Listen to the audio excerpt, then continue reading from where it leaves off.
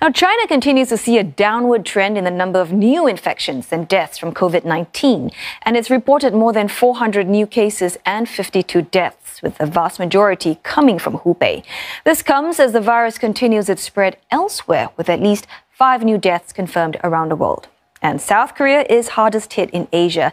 It's confirmed more than 280 new cases, the largest daily increase there so far.